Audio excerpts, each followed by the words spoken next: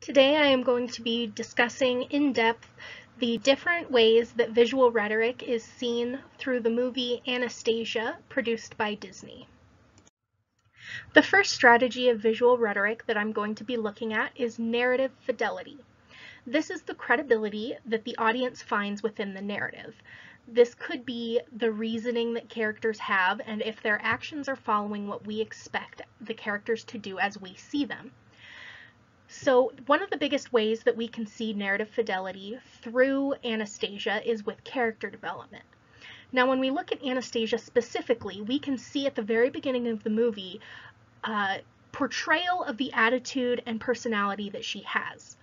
Now, after she loses her memory, this personality doesn't change. She may not know who she is, but she still has the same personality that we expect her to have after viewing the, the beginning of the movie and her actions we can see do not differ from what we would expect her to do having these characteristics and personality traits. Secondly, I want to look at Dimitri.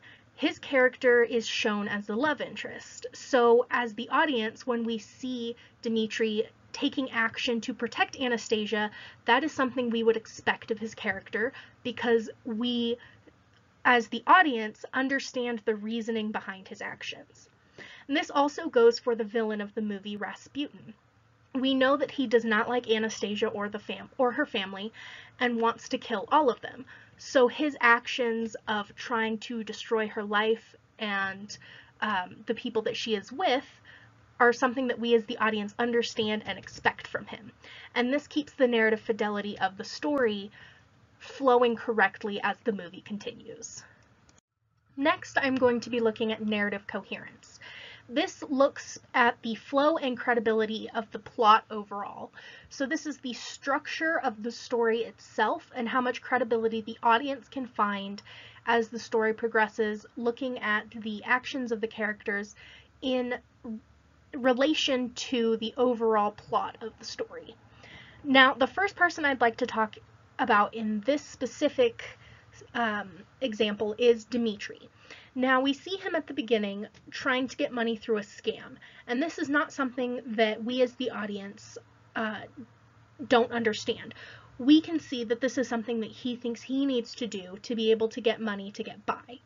But we can see his actions change in response to the plot. As he falls in love with Anastasia, his actions change from being willing to do the scam to wanting to help her.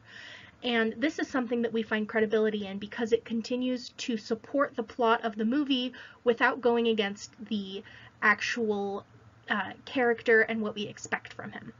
We can also see this in Anastasia. Now, I said before that she still had the same personality after losing her memory. This is true, however, we can see that she has less confidence in herself after leaving the orphanage and we can see that confidence grow as the story progresses. This is also something that we as the audience are expecting. Because she is the main character, she has the most character development, and her actions and confidence level continue to match that as the story goes on, making the credibility of the overall plot something that we as the audience are more likely to believe.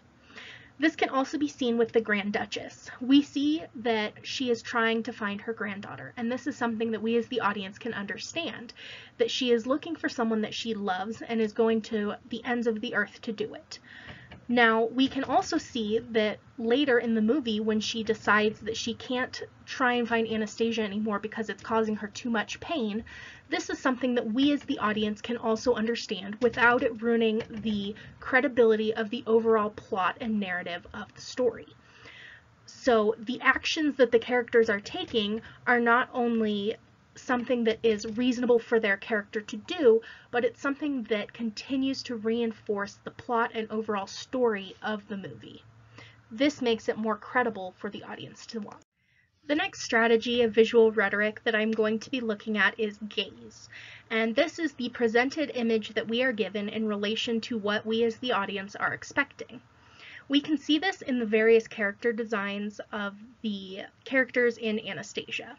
When we look at Anastasia specifically, we can see her outfit design changing as her character progresses. In the beginning of the movie, she's wearing what we would expect her as a princess to wear, and later in the movie, when we see her as an orphan, she is wearing the clothes that we would expect a commoner to wear in this movie. And it matches what those around her are wearing. Now, we can see the uh, progression of her outfits as her character continues to grow and develop. We see that her outfits become more fashionable and eventually fit in with what we as the audience are expecting of royalty. Now, when we look at Dimitri, it, his outfits um, don't change as much. He is not overly formal, but he does have uh, an outfit that is more fashionable and professional than what some of the other characters are wearing. But when we look at the others around him that are in similar positions, this is not something that is out of the ordinary. As we can see, the other characters in the movie also wear similar outfits when they are of similar social standing. When we look at Rasputin, we can see the gaze definitely is shifted to that of what we as the audience are expecting of a villain, especially a Disney villain. While many of the other characters have more rounded features, Rasputin's design has a lot more sharp edges. His nails are very long and sharp, his character has a spiky beard, his clothing is ragged and dark, and his character design overall is what we as the audience are expecting when we think of something against the established normal of the regular characters in the movie.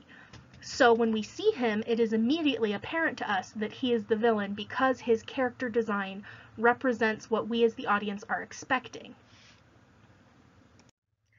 The last thing that I would like to discuss today is the intertextual context that we can see within the movie of Anastasia. Now, this is going to be looking at the different pieces of media that we can see influencing the actual movie. Now, the first thing I'm going to talk about is the fact that Anastasia was a real person the rumors surrounding her survival were something that were perpetuated for a very long time. So the song that the town sings at the beginning of the movie about the rumors that Anastasia might be alive are based on actual rumors of people thinking that she was alive.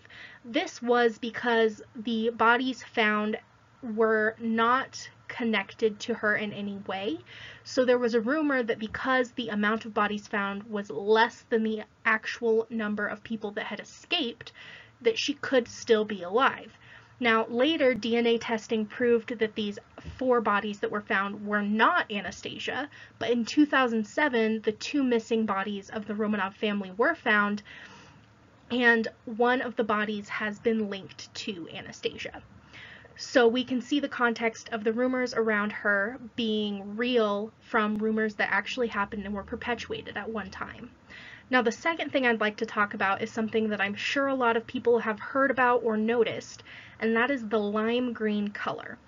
If you look at other movies, you can see that many Disney villains have scenes where during their song, the color lime green is used as the lighting and background color.